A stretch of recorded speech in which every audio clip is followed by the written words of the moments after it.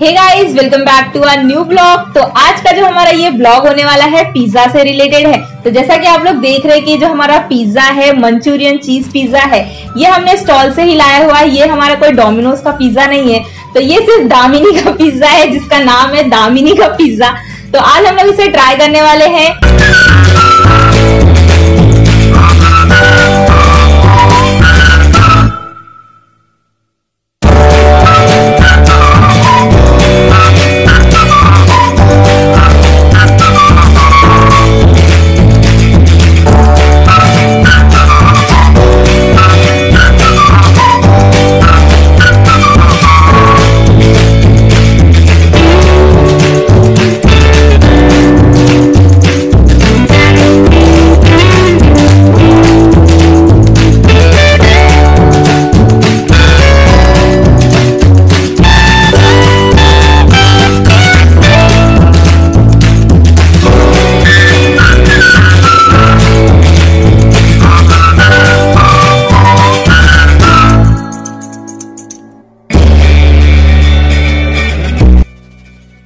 चलिए इसे खा के हम आप लोगों को बता देते हैं कि इसका जो टेस्ट होता है, जो हमारा स्टॉल वाला पिज्जा होता है, उसका जो टेस्ट होता है, वो बेसिकली कैसा होता है?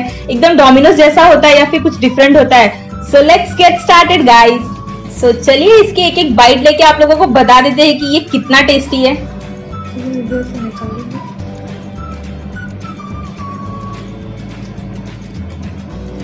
वाह यम्मी जो इसमें सेजवान का जो टेस्ट आ रहा है बहुत ही अच्छा आ रहा है ना एकदम फ्रेंकी जैसा टेस्ट आ रहा है मुझे तो। स्पाइसी या it's too spicy and too cheesy.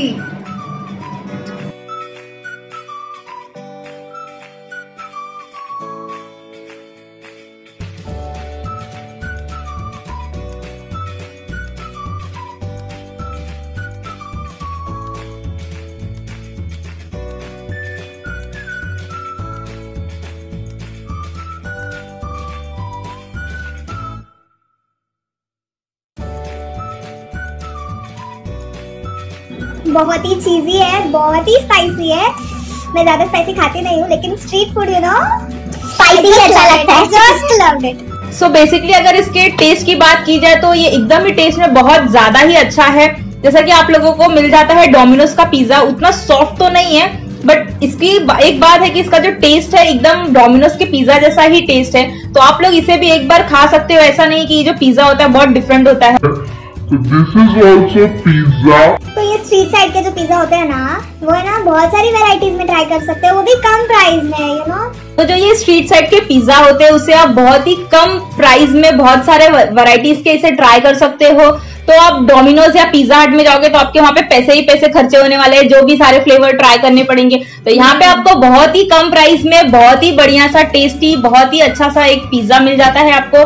तो आज हमने यहाँ पे ट्राई किया है, जो है मंचूरियन चीज़ पिज्जा तो जैसा कि आपने देखा कि इसका टेस्ट में तो बिल्कुल भी कॉम्प्रोमाइज नहीं हुआ है तो आप लोग भी इसे एक बार ज़रूर ट्राई करें।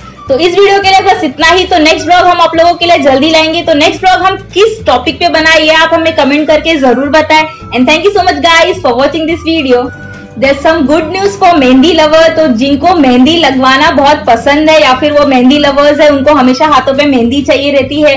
तो यहाँ पे हमारी जो मैडम है, वो मेहंदी आर्टिस्ट है तो आप इन्हें ज़रूर कांटेक्ट करें। तो इनका जो इंस्टा आईडी है, आप इसे फॉलो कर लीजिए और ऑर्डर के लिए इन्हें आप डीएम कर सकते हैं। सो इस आईडी को फॉलो करना आप बिल्कुल ना भूले। यहाँ पे आपको लेटेस्ट डिज़ाइन मिल जाएँगे मेहंदी की। सो so, फटाफट जाइए और इस अकाउंट को ज़रूर फॉलो कर लीजिए।